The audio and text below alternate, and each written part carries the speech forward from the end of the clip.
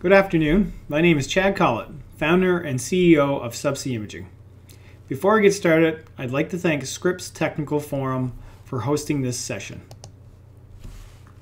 In today's webinar, I'm going to be sharing some pro tips and best practices with the goal of helping you get better results.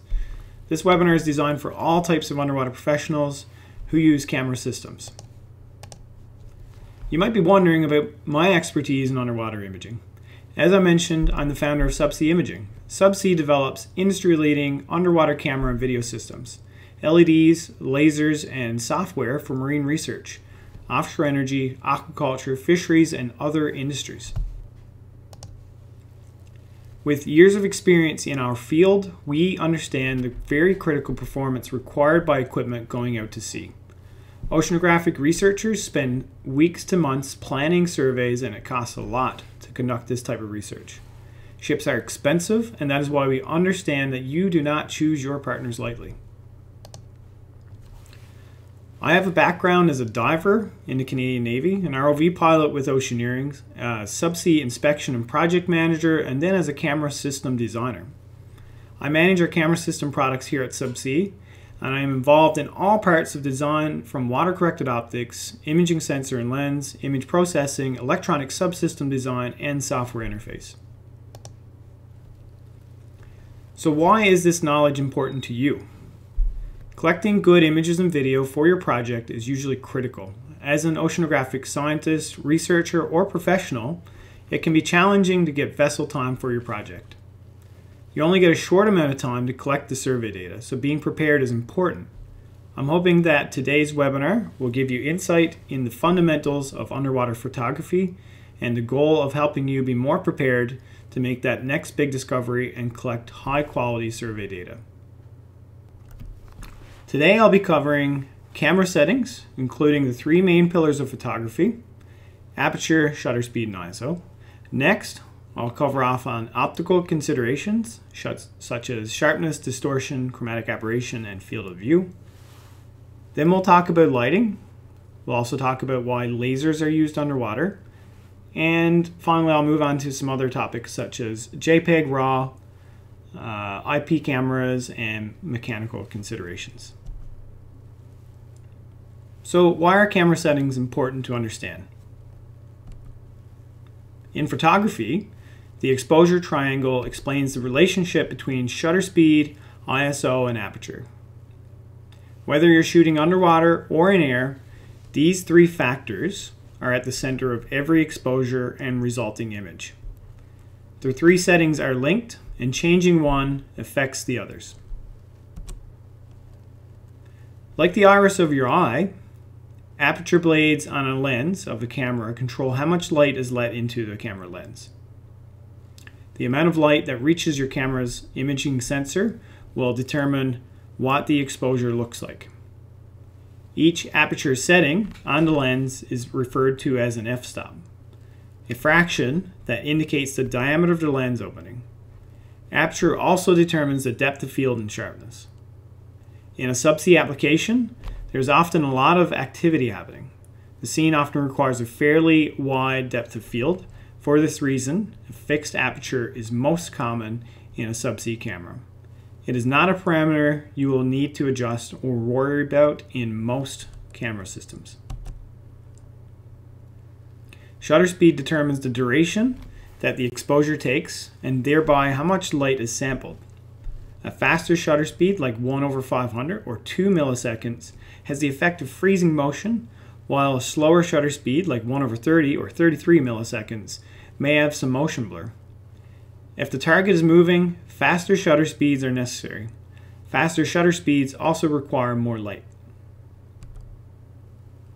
When increasing the ISO, it allows you to work with less light. However, if the ISO is increased, oftentimes there will be more noise and less detail in your image or video. In other words, when increasing your ISO, it will bring light into dark images, but as a result can diminish the quality of the shot. A general rule of thumb is to start with the lowest ISO to give adequate brightness to the image.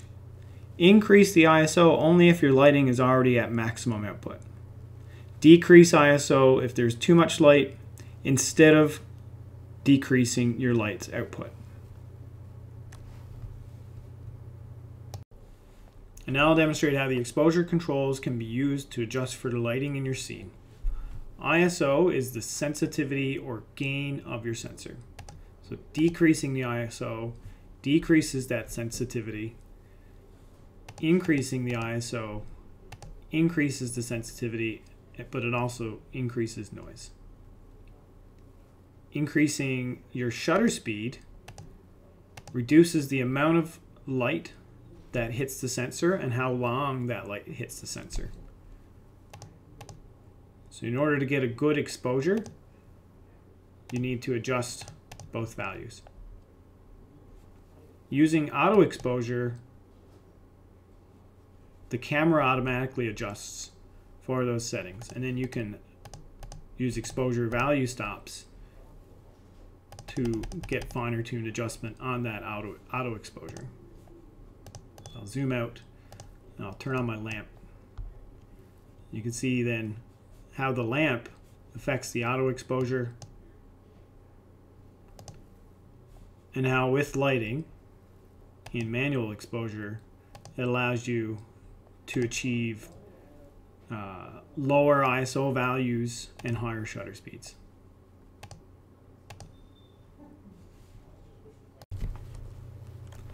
Depth of field is the distance in the scene that is in focus at one time. The depth of field range of a camera is determined by its sensor size, lens aperture, and focal length.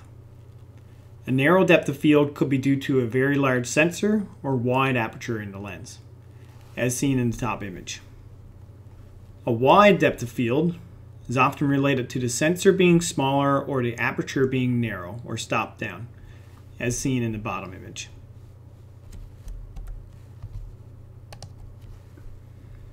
In subsea cameras, depth of field can be adjusted primarily with a couple of variables. One, the focus distance. As you focus at near distance, the depth of field narrows. As you focus further away, the depth of field widens. For example, at one meter, you may have a pretty narrow depth of field.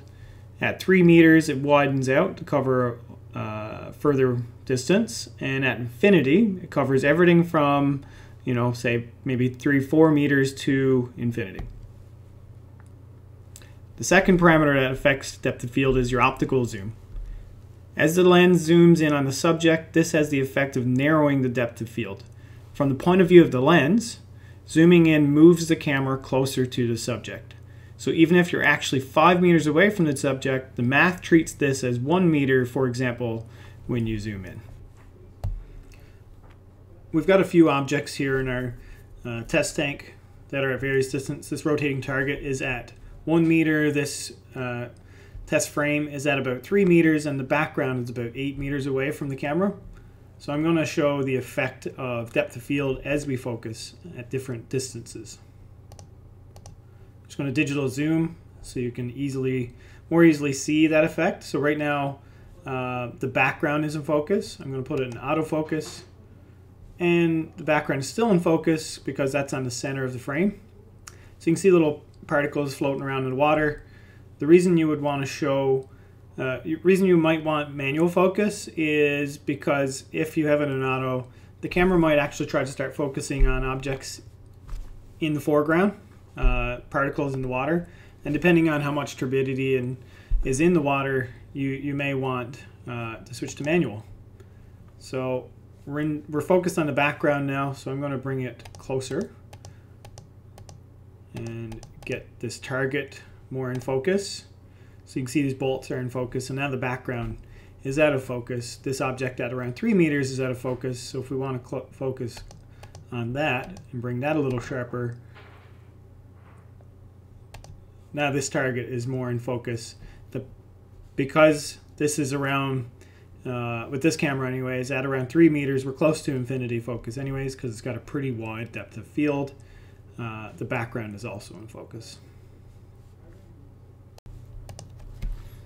When you set your camera's white balance, you are telling it what you expect the color temperature of the scene to be.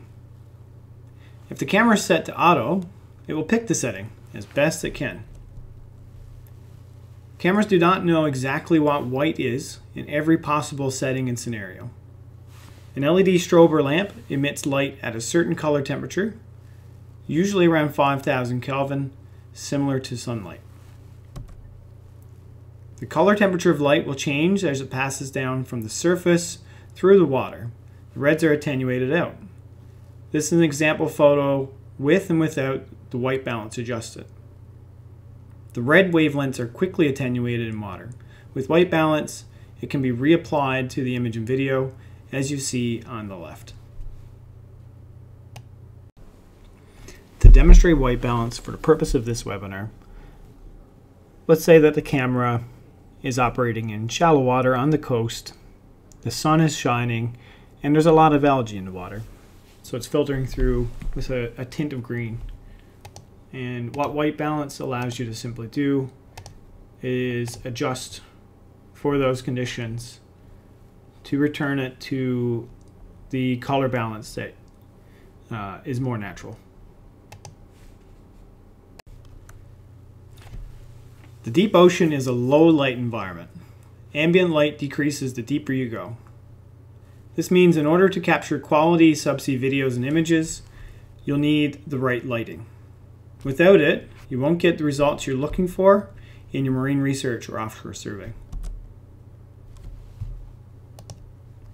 In underwater systems, power availability matters, and in a camera system, the lights use the most power.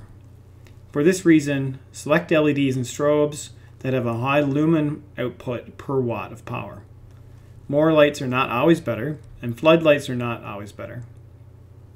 You need the right amount of light, and you need it to be directed where you need it. So what is motion blur?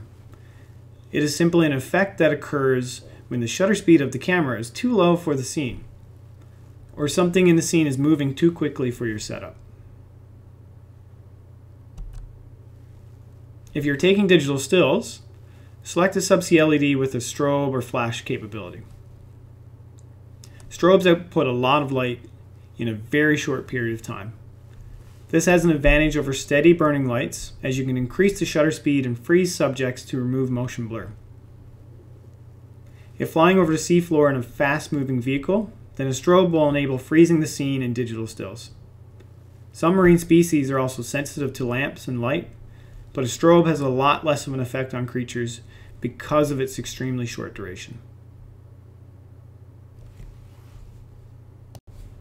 Next, I'll demonstrate how lighting with a strobe or lamp affects your exposure settings. So first, I'll turn on my lamp and then I'll take a photo.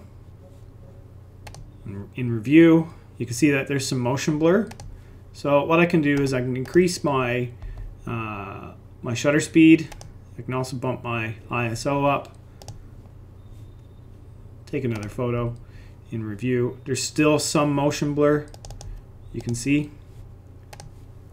So what I can also do, this is where a strobe comes in.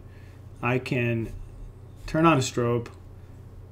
Strobe compensation is the number of exposure stops that it will stop down when taking that photo.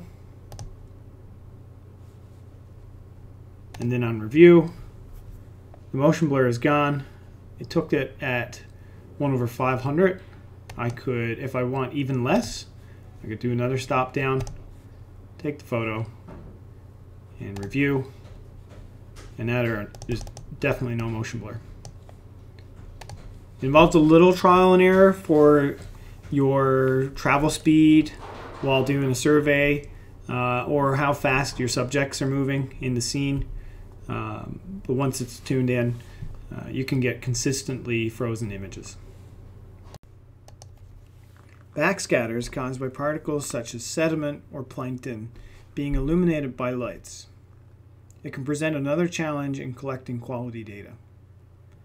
Backscatter has to do with the positioning of the LEDs, their beam angles, and overlap of the camera field of view. In this image, the LED is positioned directly next to the camera, and there's a lot of backscatter. In this image, the lights are positioned further from the camera, which reduces the backscatter. And in this image, the light output is reduced to eliminate foreground backscatter. It's important to select LEDs that match your application.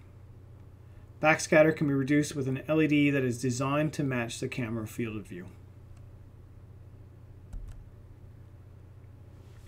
A floodlight has a beam angle greater than 90 degrees. A directional light has a beam angle less than 90 degrees. Floodlights spread light everywhere, even where you don't need it, but they allow for less planning. Directional lights, or beams, produce less backscatter and can be more intentionally positioned to illuminate the scene. Infrared and red are the first wavelengths of light to get absorbed at around 5 meters because they have the longest wavelengths with the lowest energy. Orange and yellow follow at around 10 to 20 meters, green at 30 to 40 meters, and eventually blue colors start to get absorbed at 60 meters and deeper. Once you get to 200 meters, photosynthesis is no longer possible. No photons from the sun reach 1,000 meters. The only light is from bioluminescence. When a human dives in a submarine or with scuba gear, their eyes and brain will adjust for the loss of color at depth. When you take a photo, the camera does not adjust for the missing colors of sunlight. Using a combination of white and colored LEDs, you can help compensate for any deficiencies. There are added benefits to having a red LED if you are conducting a natural behavior study. Many sea creatures are unable to see in the red spectrum, and by using a red LED, you could capture images of some creatures in their natural state. Other colors can be used to do unique science. Deep blue can potentially induce fluorescence. There are also UV and IR wavelengths, which have applications in science and energy. A common overlooked aspect of underwater imaging is the lens and optical parameters. Often when choosing a camera for a project, the technical specifications such as resolution, size, and weight are the first considerations. The parameters shown here on this slide can have a much higher impact on the image quality than even the sensor size or image resolution. Sharpness is often the most important factor in, in an imaging system. It is the variable that determines the resolving power of the system. It is often in terms of millimeters per pixel, similar to the DPI of a printed photo. The sharpness is much higher in a water-corrected lens. Sharp images have more detail, which is particularly important for any application requiring data processing such as photogrammetry, 3D modeling, machine vision, or object detection. These graphs are created by an image analysis software that we use here at SubC. The image on the left is of a flat port and the image on the right is of a corrected optic. The higher the value of sharpness, the more detail in the image. You can see with a flat port, the image sharpness is lower as you go from the center of the lens to the edge. The effect is still present with a corrected optic, but this is because of an inherent effect of all lenses but the overall sharpness is evened out across the whole image. And you can see that with the color coding here. It's blue on the edges, which means it's really low, and it never reaches blue in the water corrected.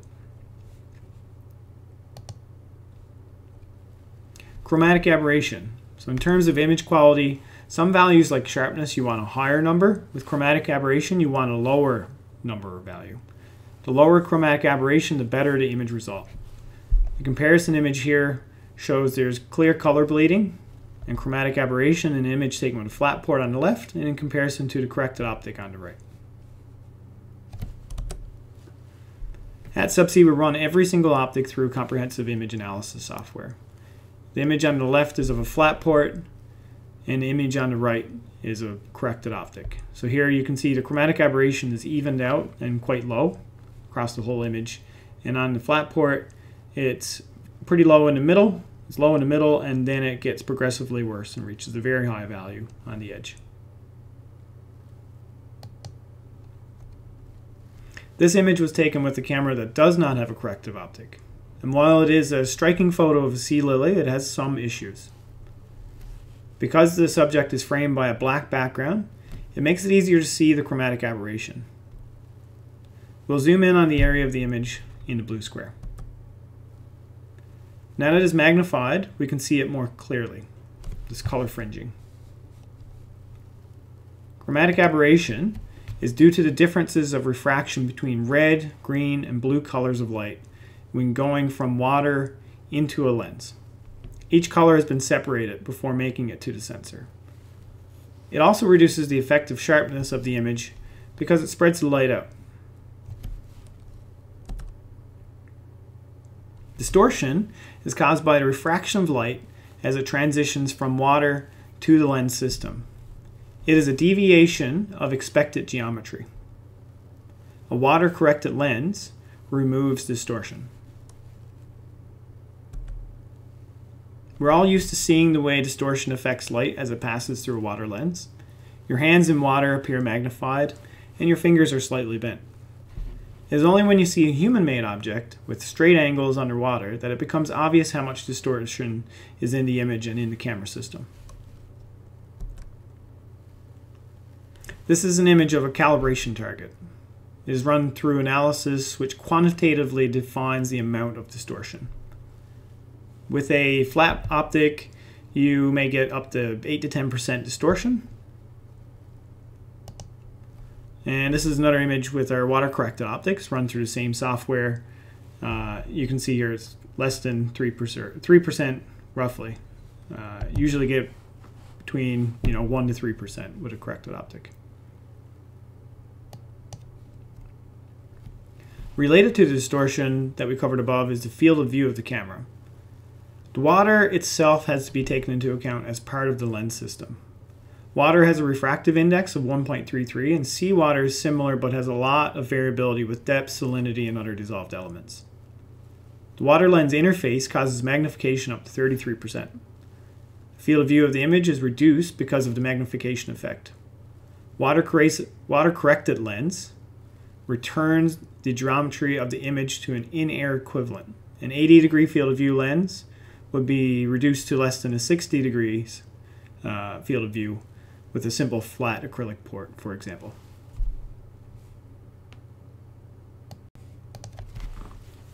Lasers are another tool in the underwater photographer's toolbox. So why do we use lasers? They provide a visual reference to objects underwater. It is difficult to determine the scale of a subject without a frame of reference. Think of a laser as an underwater ruler painted on the scene. It can also help measure or estimate distance to the subject. There are two common types of underwater lasers, parallel dots and line lasers. There are also a variety of other types such as grids, crosshairs, circles, and other patterns. Each has their own use, but the most common are dots and lines. Parallel dot lasers project two beams that appear as green dots in images that are used to get distance and scale of underwater objects. Usually parallel dots are the lowest cost form factor of laser. They are also attached to the camera so that the dots are parallel with the frame of reference. The spacing between the dots gives both range and scale information. This works best when the scene is perpendicular to the camera sensor such as a vertical view of the seafloor, straight down. The parallel dots can give rough sizing of subjects in the scene using simple methods in photo editors. This can be made more accurate with calibrated cameras and specific software. A grid laser projects hundreds of points onto the scene. This gives multiple redundant data points that allow for more complex geometry. The points spread out at a predictable angle from the laser.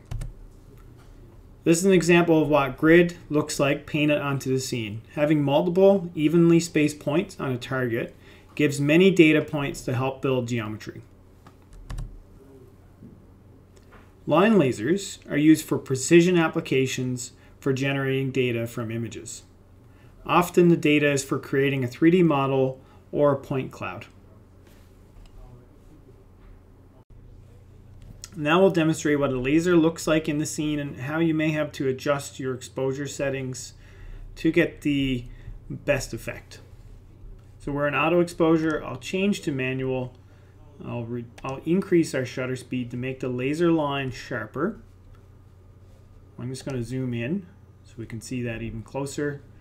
As you'll see, as you increase your shutter speed, that line gets sharper. In a line scan situation, there, there may be no lights on, and it may be digital stills of a laser line, and we can take a photo just to show what that looks like. It's quite sharp.